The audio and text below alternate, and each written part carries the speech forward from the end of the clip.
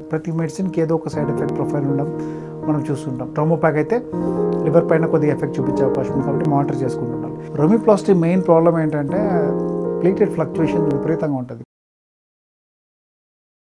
Sir ఈరోజు మనం ఇప్పుడు ఐటీపీలో కామన్గా యూజ్ చేసే మెడిసిన్స్ గురించి మాట్లాడుకుందాం. సో ఫస్ట్ వచ్చేసి ఇది ఎల్ట్రోమోబ్యాగ్గా గురించి చెప్పండి సార్. సో ట్రోంబ్యాక్ అనేది థ్రోమోపాటిన్ అగోనిస్ట్ అని పిలుస్తాము. ఇప్పుడు ఐటీపీ డిసీజ్ అనేది ఎట్లా వస్తుంది? మెయిన్గా ఇమ్యూన్ సిస్టమ్ వచ్చి కన్ఫ్యూజ్ అయిపోయి మన ప్లేటెట్స్ని అటాక్ చేసి చంపేస్తుంటుంది. సో ఇక్కడ ఇమ్యూన్ మీడియేటెడ్ డ్యామేజ్ అనేది కనబడుతుంది ఐటీపీ డిసీజ్లో సో ఐటీపీలో వాడే మెడిసిన్స్ రెండు రకాలు ఉంటాయి. సో ఈ ఇమ్యూన్ సిస్టమ్ని రెగ్యులేట్ చేసే మెడిసిన్స్ అంటే ఇమ్యూన్ సిస్టమ్ని కంట్రోల్ చేసి ప్లేటెడ్ చనిపోకుండా చేసే మెడిసిన్స్ ఒక పక్కం. రెండో మెడిసిన్స్ ఏమంటే చనిపోతున్న ప్లేట్లెట్స్ని పక్కన పడేసి ఎక్కువ ప్లేట్లెట్ని ఉత్పత్తి చేసే మెడికేషన్స్ ఉదాహరణకి పది ప్లేటెట్లు ఉత్పత్తి మ్యారో నుంచి ఉత్పత్తి అయి బయటకు వస్తుంది అనుకోండి. ఐటీపీలు ఏమవుతుందంటే ఎనిమిది ప్లేటెట్స్ చనిపోతే రెండు ప్లేటెట్స్ మిగులుతాయి. కొన్ని మెడికేషన్స్ ఏంటంటే ఆ ప్లేటెట్స్ని అటాక్ చేయనీయకుండా ప్లేటెట్ని చంపకుండా ఆపే మెడిసిన్స్ ఉంటాయి. అంటే పది ప్లేటెట్స్ వచ్చినప్పుడు ఒక ఆరు ప్లేటెట్ని కాపాడగలుగుతాయి కొన్ని మెడిసిన్స్ అలాగా ప్లేటెట్స్ పెంచుతాయి. సో వేరే మెడిసిన్స్ ఏంటంటే పది ప్లేటెట్స్ కాకుండా ఇరవై ప్లేటెట్స్ని ఉత్పత్తి చేసే కెపాసిటీ ఉంటుంది.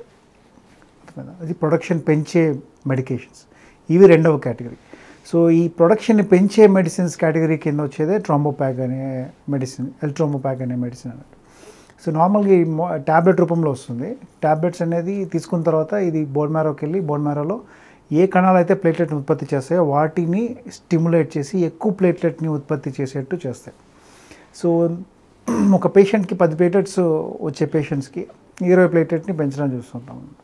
ఇవి ఐటీపీ డిసీజ్లో ఒక డెబ్బై శాతం వరకు ప్లేటెట్ని పెంచే కెపాసిటీ ఉన్నాయి. అంటే పది మందికి ట్యాబ్లెట్స్ వాడినప్పుడు ఏడు మందికి పనిచేస్తుంది కొంతమందిలో ప్లేటెట్స్ కంప్లీట్గా నార్మల్ అయిపోతాయి. కొంతమందిలో సేఫ్ లెవెల్కి వచ్చి ఆగిపోవడం చూస్తుంటాం.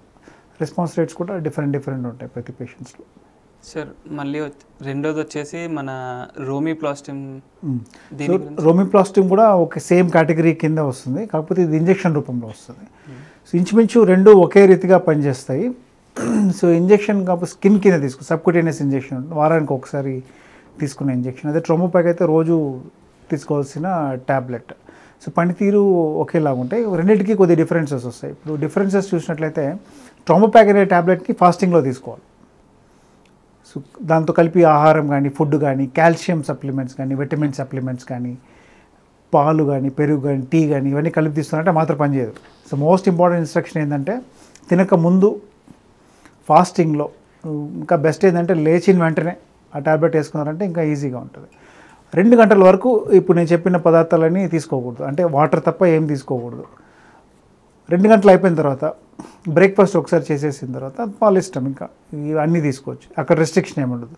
కేవలం మాత్ర తీసుకున్న రెండు గంటల వరకు మాత్రమే ఆ రెస్ట్రిక్షన్స్ పాటించాలి. ఆ తర్వాత వాళ్ళ ఇష్టం ఉంటుంది సో ఈ ఫుడ్ రెస్ట్రిక్షన్స్ అనేది రోమిప్లాస్టిమ్కి లేదు. రోమిప్లాస్టిమ్లో ఇటువంటి ఫుడ్ రెస్ట్రిక్షన్ ఏమి ఉండదు. అది ఏ టైంలోనే తీసుకోవచ్చు. స్కిన్ కింద సబ్కుటేనియస్ ఇంజెక్షన్ అంటే ఇన్సులిన్ ఇంజెక్షన్ ఉంటుందా? ఇన్సులిన్ ఇంజెక్షన్ తీసుకున్నట్టు ఇది తీసుకోవాల్సి వస్తుంది వీక్లీ వన్స్ ట్రాంబోప్యాక్ వచ్చేసి మార్నింగ్ టైంలోనే తీసుకోవాలి. అది కూడా దాంతో పాటు టూ అవర్స్ వరకు ఏం తీసుకోవద్దు. మార్నింగ్ టైం అని టైమింగ్ ఏమి ఉండదు ఫాస్టింగ్లో తీసుకోవాలి. ఫాస్టింగ్ ఇప్పుడు కొంతమంది మార్నింగ్ తీసుకోలేని వాళ్ళు ఏం చేయొచ్చు అంటే నైట్ టైం డిన్నర్ ఎర్లీగా తినేసి సెవెన్ ఓ క్లాక్ తినేసి పడుకునే ముందు ట్యాబ్లెట్ తీసుకోవచ్చు. ఓకే బట్ అక్కడ మోస్ట్ ఇంపార్టెంట్ ఏంటంటే వాటర్ మాత్రం తీసుకోవాలి ఆ టైంలో ఏం తినకూడదు. ఎర్లీగా డిన్నర్ చేసేసి పడుకునే ముందు తీసుకున్నా కూడా ఇంచుమించు బట్ ఇంజెక్షన్కి టైం అండ్.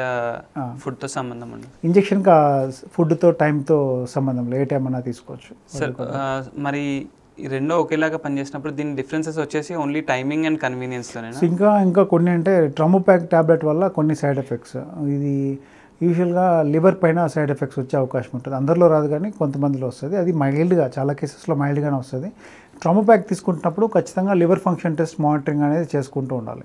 రోమిప్లాస్టిమ్కి అడ్వాంటేజ్ ఉంది. అక్కడ వచ్చేసి లివర్ పైన సైడ్ ఎఫెక్ట్ అది చూపించదు.